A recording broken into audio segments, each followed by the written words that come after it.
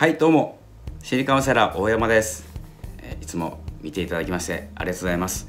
えー今日はですね、えテーマとして二極化というですねテーマでお送りいたします、えー今日ですねなぜ二極化というテーマでお話しするかというと今朝が朝方なんですけど二極化というですねえーラジオを撮りました。でですねちょっとですね5分のラジオでお話ししてますので少しお話しし足りない部分がありましたので、え YouTube の方でもう少し長めに、え続きというわけではないんですけれども、えお話ししていきたいと思います、えーぜひですね最後までお聞きいただければと思います。今日の、えお話の二極化なんですけどちなみにですね二極化という言葉を聞いたことがあるかどうかなんですよね。まず、えそこがスタートラインになってまして、えー二極化というのが、自分がですねこうちょっとの差なんですけどこう開いていく感じです。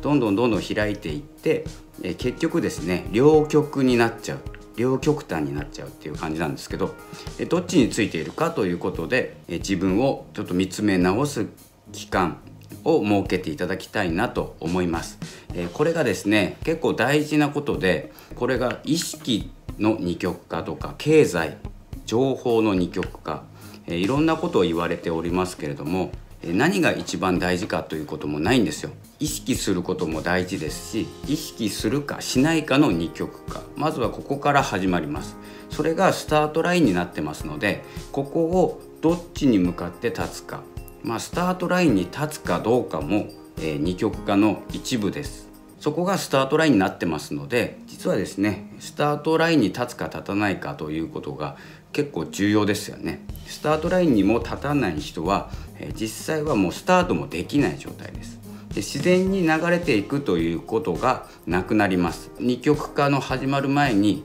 なんとなく生きているとかですねなんとなく仕事しているなんとなく会社に行っているという方が多くてですね今回リモートワークとかで結構はっきり分かれてきたと思います。自分が何をしに会社に行ってたのか仕事をしに行ってたんですけれどもなんとなく仕事をしてた人もいると思います。えーそんな方はですね今二極化されていってるのが、まあ、実感できているのかなと思います。実際ですね普通とか中ぐらいとか中間中間層っていうんですか、えーその層がなくなっていく、えーその二極化がこうぐーっと広がっていく感じです。それが意識とか経済とか、え情報意識でいくと意識を持つか持たないか。この二極化ですねまず。で経済でいくと、まあ、貧富の差とも言われていますけれども大きく稼ぐ人は大きく稼いでいく、まあ、稼げない人はどんどん落ちていくという二極化。これはもう一概には言えません。どの程度稼げば上の方に行っているのかということもありますのでここはですね金額ではないですし稼ぐということでもないんですけれどもこの経済と情報というのはちょっと似てますよね。有益な情報がクローズ化されていってあまり意味のない情報というのがごっそりあります。そして二極化という上の方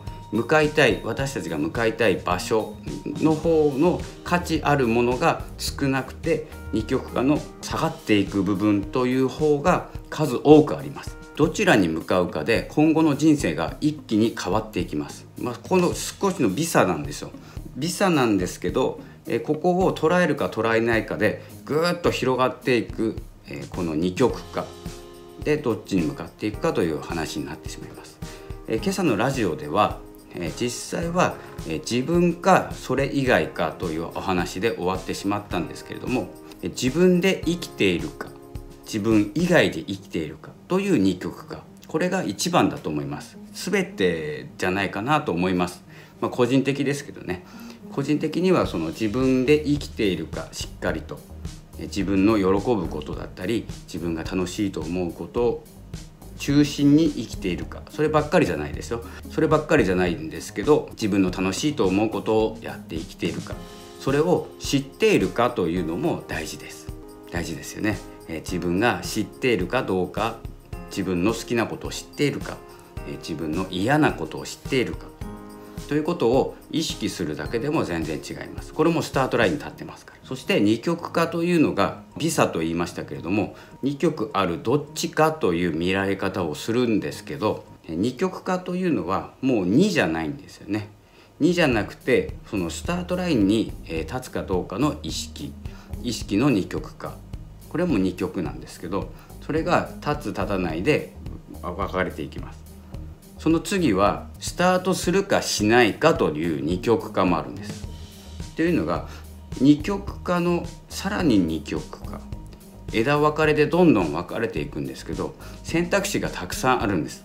一回ですねスタートラインに立って進んでしまったからいいという話ではなくて実はですねその先にも二極化のターニングポイントというんですかね、えー、そのようなものがまだまだ残ってるんです、え、そこからどんどん選択肢が増えていきます。そこで大事なのが情報の二極化なんですよ。自分で有益な情報をどんどん取り入れていくことで、え、自分が間違った選択をしなくなるんです。その間違った選択をしなくなる方法というのが学ぶことです。自ら学ぶこと。